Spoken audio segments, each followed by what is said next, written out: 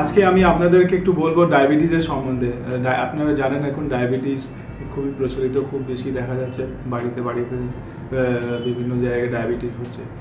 Diabetes হওয়ার একটা কারণ হচ্ছে যে, একটা মোস্ট কমনলি কারণ হচ্ছে যে স্ট্রেসফুল লাইফ আমরা যে আজকে বিভিন্ন রকমের স্ট্রেসফুল লাইফ লিড করি সেটার কারণেই হয়। মানে ওয়ান অফ দ্য রিজনস তাছাড়া যদি ফ্যামিলি হিস্ট্রি থাকে বা হয়তো আমাদের খাওয়া দাওয়া অনিয়ম হলে সেগুলো দিয়ে বিভিন্ন কারণে হয়। মোটামুটি এই হচ্ছে কারণ ফ্যামিলি হিস্ট্রি থাকলে স্ট্রেসফুল লাইফ থাকলে। ডায়াবেটিস হলে আমরা কি করে বুঝব? যদি দেখেন যে আপনার ঘন ঘন পেশাব হচ্ছে, জল তেষ্টা পাচ্ছে, গলা শুকিয়ে যাচ্ছে, ওজন কমে যাচ্ছে, শরীর দুর্বলতা ভাব, কাজে আপনি এনার্জি পাচ্ছে না।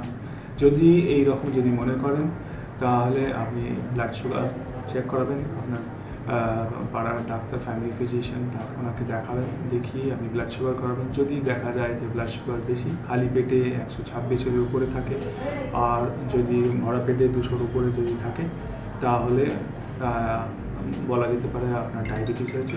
এবং ডায়াবেটিস যেটা হয়েছে তার ক্ষেত্রে আপনাকে একটু খাওয়া দাওয়া কন্ট্রোল করতে হবে এক্সারসাইজ করতে হবে, ওষুধ খেতে হবে। দিস ইজ অ্যাবাউট ডায়াবেটিস এবং আপনি যদি ডায়াবেটিস কন্ট্রোল করতে চান, তাহলে খাওয়া দাওয়া যদি ঠিকভাবে করেন, ওষুধ ঠিকভাবে খান, ও এবং ডাক্তার পরামর্শ যদি ঠিকভাবে চলাফেরা করেন, তাহলে আশা করি আপনি সুস্থ জীবনযাপন করতে পারবেন এবং ডায়াবেটিস কন্ট্রোলে থাকবেন।